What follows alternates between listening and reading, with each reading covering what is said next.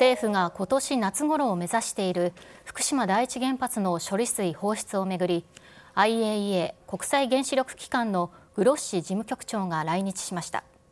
午後岸田総理大臣や関係閣僚らと面会する予定です。IAEA のグロッシ事務局長は午後岸田総理や林外務大臣西村経済産業大臣らと相次いで面会します。岸田総理との面会では福島第一原発の処理水の海洋放出について IAEA が安全性についての評価を盛り込んだ包括報告書を手渡すことにしています。政府はこの報告書などを踏まえて放出の時期を最終判断するとしています。IAEA がこれまで公表している複数の報告書では政府や東電の対策を評価する内容などが盛り込まれていますが地元の漁連や周辺国などからは放出に反対の声が上がっています。